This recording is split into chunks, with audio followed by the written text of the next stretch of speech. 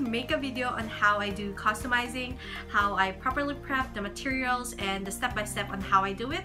So what I'm going to do is a Nike slides. This was actually a plain black Nike slides, and I did the Simpsons to it. Um, actually, this is my first video, and it took me so long to do it because it's really hard to do uh, customizing and taking a video at the same time. Um, anyway, just watch the whole thing.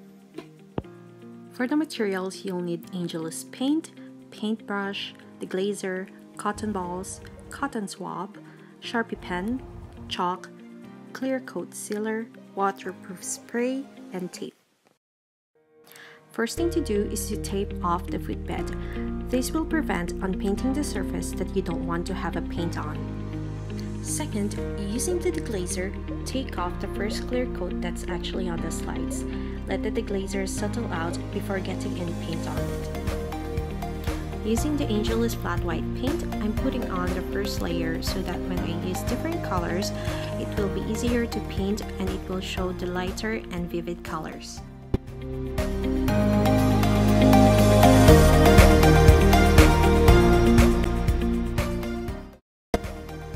Next part, I'm using chalk as a draft design before using the Sharpie pen for the outline to avoid any mistake.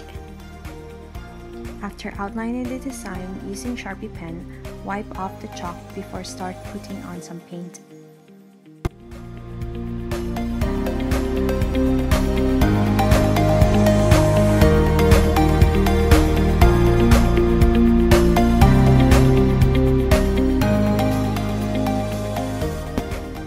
When you finish painting the slides, seal the paint with clear coat sealer.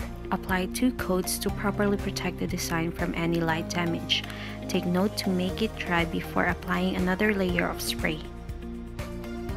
And lastly, after putting clear coat sealer, put on a spray of waterproof to protect the paint from water and also making it stain proof. Thanks for watching. Please don't forget to subscribe.